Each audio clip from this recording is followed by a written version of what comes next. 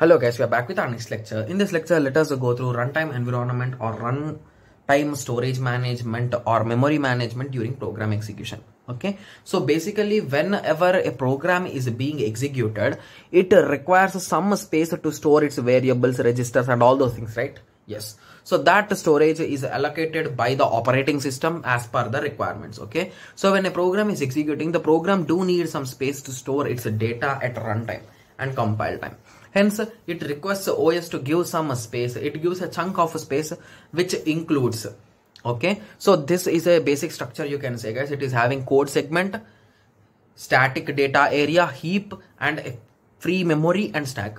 So basically heap will be going from top to bottom that is nothing but low addresses to high addresses and stack will be moving from high addresses to low addresses. It will be moving up guys. Okay.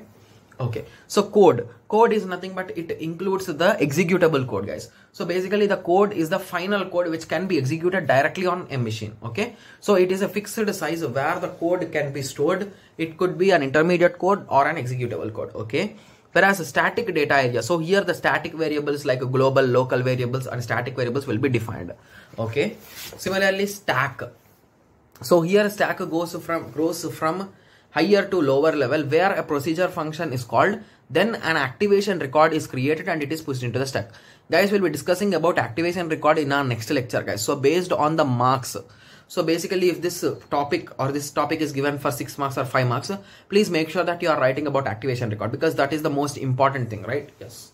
So heap.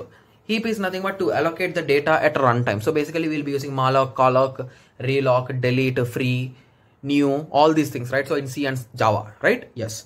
So those comes under the heap allocation. Okay. So I hope everyone got some basic idea about uh, runtime ma storage management that is memory management while executing a program so in the next lecture we'll be going in detailed about activation record guys okay okay so let us meet in the next lecture thank you thanks for watching